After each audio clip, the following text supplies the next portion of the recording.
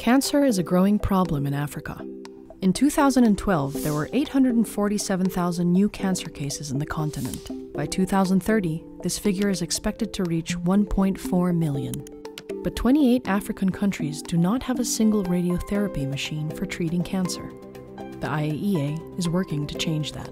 We are assisting member states in providing uh, training um, you know, opportunities uh, and also through government cost sharing in procuring of some equipments for cancer uh, control and we're able to address the issues of safety and infrastructure. Radiotherapy is a vital component of cancer control.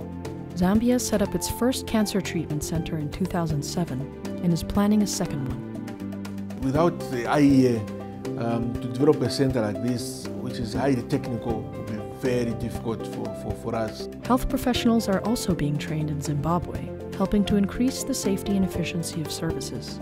Now, more patients have access to basic cancer care services. When we had limited radiotherapy services, a lot of patients did not really have much alternatives. And not only has access to radiotherapy improved, but the quality of radiotherapy that we offer is, has changed greatly uh, for the better. But much remains to be done to help Africa be fully prepared to tackle chronic diseases. We are not yet there though. There's still a lot of improvement that needs to be done.